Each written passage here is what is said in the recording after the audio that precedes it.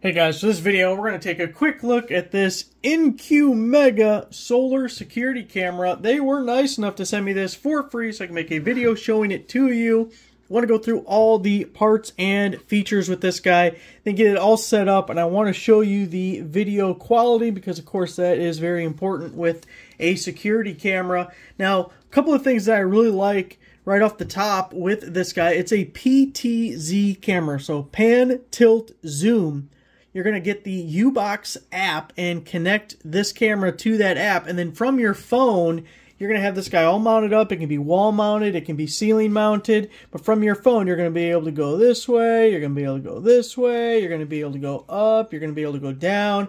Also, this has a zoom. PTZ, but it's not just a digital zoom. Most of these cameras only have digital zoom, which creates distortion, it'll blur, as you use the zoom. This has an optical zoom in conjunction with the digital, so we get up to 12x, but I believe it was 4x on just the optical, so we'll check that out, but you definitely like the optical zoom. That's better than the digital. So we got that guy, and then solar powered, we love that because we don't have to worry about running power out to it. Also, it connects to your Wi-Fi, so you don't have to have an Ethernet cord or something going out there. Like if you've been around the the uh, security camera game for a while, you used to have to run power out to the camera. You'd have to run internet out to the camera. You could put this thing out in a forest because it doesn't need anything tethered to it. We're going to have the solar panel keeping it all charged up, which by the way, they also give you a regular power cable. You should definitely give it a full charge before setting it up. One thing to point out is we do kind of have a baby cord here. It's a barrel connector on the end and it's kind of a short baby cord. I wish this was much longer so we had more options on where to mount it. For most people, this is probably fine, but there could be scenarios where it wouldn't be as fine. So just be aware that that's, that's a shorty cable you're getting. So we got the pan tilt zoom, we got solar,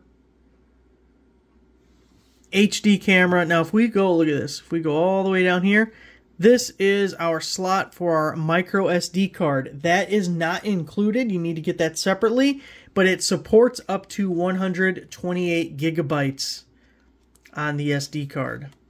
Over here we have our little door for plugging in the solar panel on this side and then the door for our power. Let's get this guy open. You can see the on off switches there. Make sure you have it turned on. And then the USB-C port for when we are charging, uh, you know, off an outlet. But this also comes with a spotlight, so we can have a security light come on when it detects motion. Did I say it detects motion? It detects motion. Have two-way audio. We can talk to whoever's on the other side. They can talk to us. We can hear what they're saying. Has a little siren feature. Lots of really cool stuff. And I love the PTZs because you set it up and then you can move it anywhere you need it. You don't have to actually unbolt or unscrew the camera from where you mounted it. You just get on your phone and you'll get notifications on your phone when there's an alert, uh, when there's motion detected. Really like it. So I already have it all charged up. We're going to go get it mounted, connect to the app, and see what we got going here.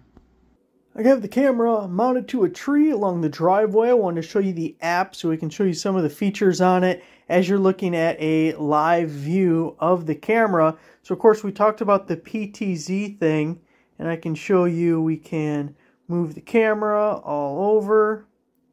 It's kind of moving at an angle for me because I got it mounted goofy to a tree. We're all the way up. We can go down, look at the ground. Oh, see? Oh, there's the tree. Probably need to straighten it up some so we're not kind of swinging around. But see the other side of the driveway. Got the Jeep over there. And then we can zoom. See if we can get that zoom going. Bring it over a little bit. There we go. Oh, oh, too far. Back out that zoom a little. So that was the pinch zoom, but there's also this zoom here at these bottom buttons. I can show you how the difference of that looks.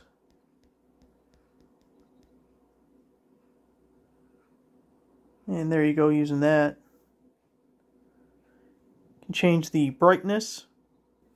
Then if we take a look at our settings, you can see I added a memory card in there. You can also do cloud storage, We can change the name of the device. We can flip the image if we need to. We can change how sensitive the detection is. You'll get a notification up in your notification bar when it detects um, motion. I did have some notifications listed there, but when I opened the app, it went away because it knew I opened the app. Recording duration 30 seconds is the highest without going to full time recording. We can turn the device alarm on and off. There is our very professional security camera set up there on the tree. Now let's see if the camera's going to catch this. I got the notification on my phone that we walked by.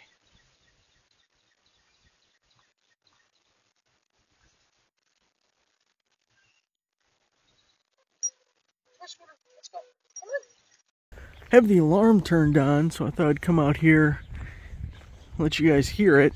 It's not the loudest thing in the world, but I guess it would startle someone, or at least let them know there's a camera right there on them. I am noticing you have to play around with the sensitivity a little bit on this to, to dial it in to what you like. There's the high, medium, and low, but then there's also for human uh, motion or not. Now let's see if we can get this thing to go off by walking by it.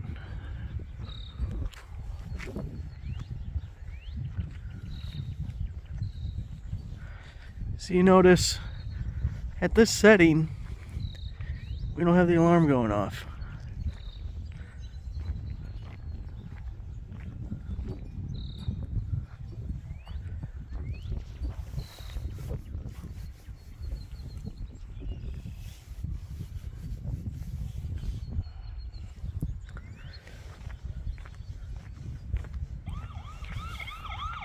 And now it just got me.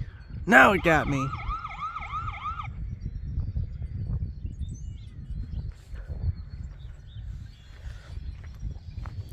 One thing about all of these motion sensor security cameras, they do better when something's going across their face. When you're going straight at it, it doesn't work nearly as well. Like, see if we get the extra the extra girth of rolling the trash can back with us if we can set off the motion detection. Again, there is three different levels. I don't remember which one I'm at now. Might be the lowest sensitivity.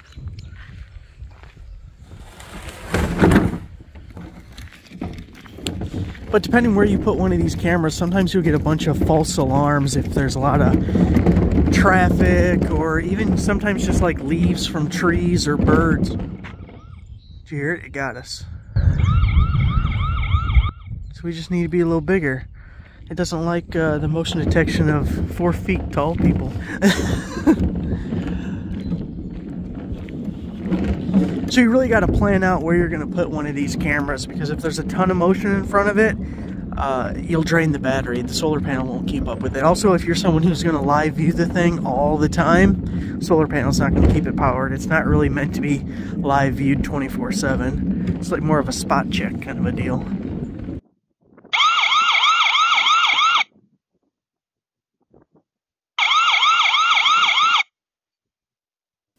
So there it is guys, the solar security camera. I'm going to end you with a couple of clips that I just pulled off of the camera so you can see the video quality.